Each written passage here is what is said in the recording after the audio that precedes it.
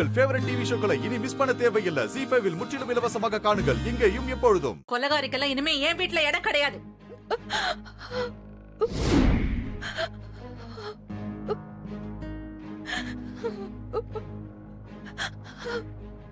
நீ எல்லாம் ஒரு பொண்ணாமா? அவ அப்படி என்ன உனக்கு துரோகம் பண்ணான்னு? நீ கொலை செய்யற அளவுக்கு போயிட்ட? நீ கர்ப்பமா இருக்கிறதா சொல்லி எல்லாரையும் ஏமாத்திக்கிட்டு இருந்த. அதை கண்டுபிடிச்சு சொன்னது ஒரு தப்பா? நீ நடிக்காம இருந்திருந்தா என் பொண்ணு ஏன் அப்படி செய்ய போறா? என் பொண்ணு விரோதிகளுக்கு கூட நல்லதுதான் செய்வா. கெடுதல் செய்ய மாட்டா. நீ செஞ்ச கெடுதலை எல்லாம் என் பொண்ணு சொல்லியிருக்கா. ஏன்? நாங்களே பார்த்திருக்கோம்.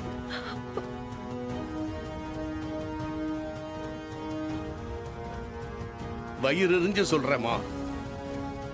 என் பொண்ணை கொல்ல பார்த்த நீ நல்லாவே இருக்க மாட்ட அந்த ஆண்டவன் இதுக்கெல்லாம் உனக்கு கூலி கொடுப்பான்.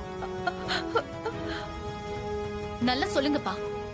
தீபாக்கு இவ கொடுத்த டார்ச்சர் கொஞ்சம் நஞ்சம் இல்ல. தீபாவா இருந்ததுனால தான் பொறுத்துட்டு இருந்திருக்கா. நானா இருந்திருந்த இவ்வளவு ஒரு வழி பண்ணிருப்பேன். இவ உடம்பு ஃபுல்லா விஷம். இவ வெளியவே வர முடியாதபடி உள்ள தள்ளுங்க. அப்பவாது திருந்துறாளான்னு பாக்கலாம்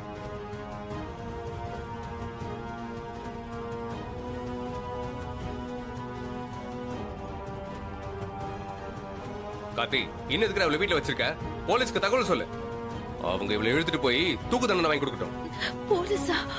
நான் இன்ஸ்பெக்டர் சரவணனுக்கு ஏற்கனவே கால் பண்ணிட்டேன். அவர் கொஞ்ச நேரத்தில் வந்துருவார்.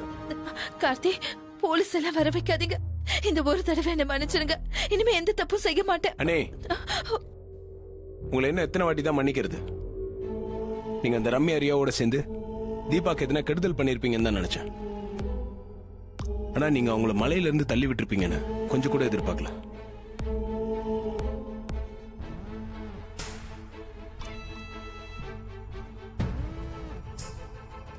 அவங்க உங்களுக்கு எப்பவுமே துரோகம் செஞ்சதில்ல.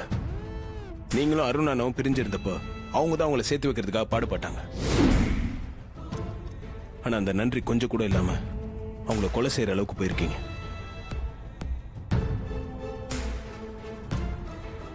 இப்ப அந்த துங்கா ரவுடியோட சேர்ந்துக்கிட்டு தீபா வீட்டுக்கே வராம இருக்க கொல்றதுக்கு பிளான் பண்ணிருக்கீங்க.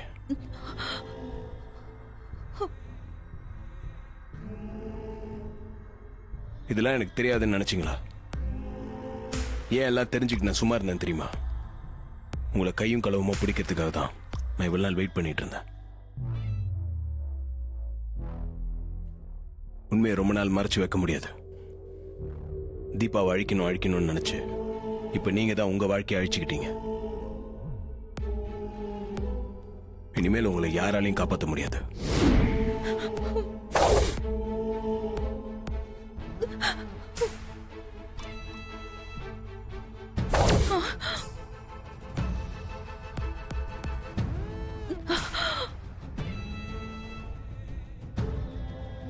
வாங்க sir.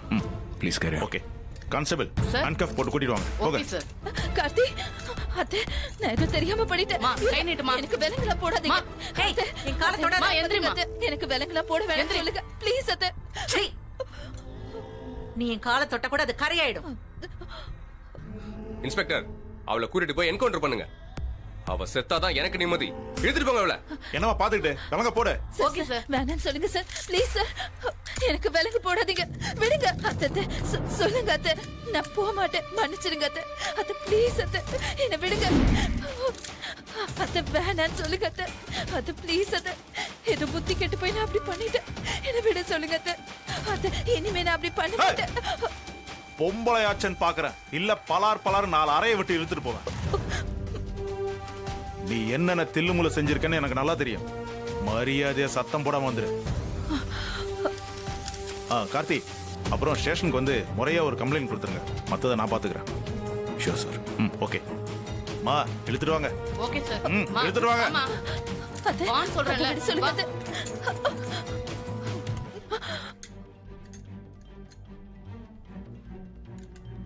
விடுங்க என்ன?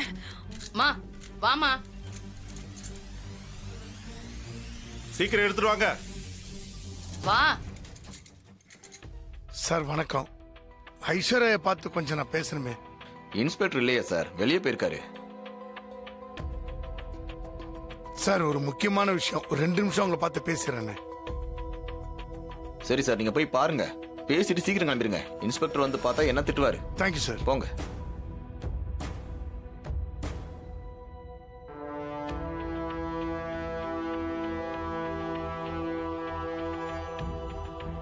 இப்படி உங்களை லாக்அப்ல பாப்பேன்னு நான் கொஞ்சம் கூட எதிர்பார்க்கல. என்னாச்சு உங்களுக்கு?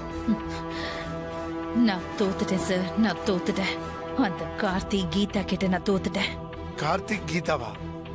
என்ன சொல்றீங்க? திட்டம் போட்டு என் லைஃப காலி பண்ணிட்டாங்க. அப்படி என்ன பண்ணாங்க உங்களுக்கு?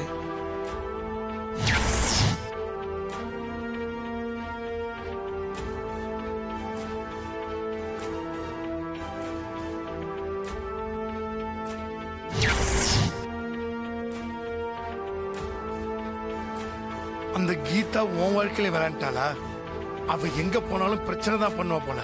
உருவ ஒத்துமைய பயன்படுத்தி அந்த கீதா தீபாவை நடிச்சு எல்லா உண்மையும் என் வாயில இருந்து வாங்கிட்டா. இதுக்கெல்லாம் மாஸ்டர் மைண்ட் யாருன்னா அந்த கார்த்தி தான்.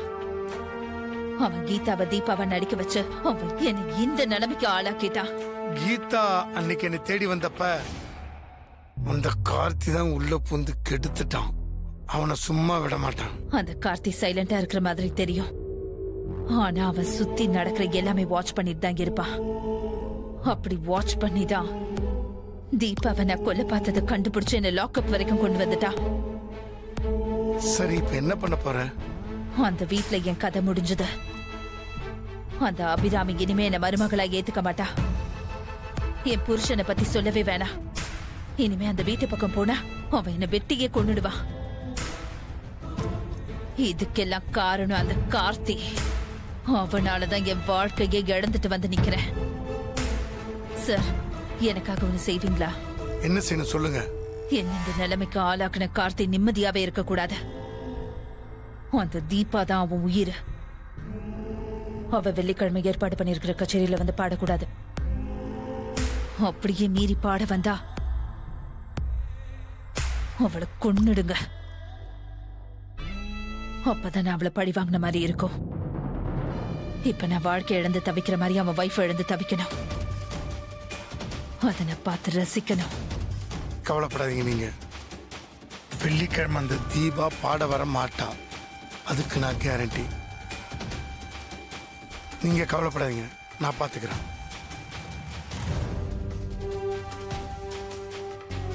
ஏ அபிராமி என்னையா வீட்டை விட்டு துரத்துன? நீ ஆசைப்பட்ட மாதிரி அந்த தீபா வெள்ளிக்கிழமை வந்து பாட மாட்டா. அத பார்த்து அவமானத்துல நீ அங்கேயே உயிரை விடணும். அத பார்த்து அந்த கார்த்திக் கதறணும். உன் குடும்பமே அவமானத்தால கூணி குறுகி நிக்கணும். அதுதான் ஏன் ஆசை. ஜிஃபை ஆப்பை டவுன்லோட் செய்து அனைத்து எபிசோடுகளையும் இலவசமாக பாருங்க.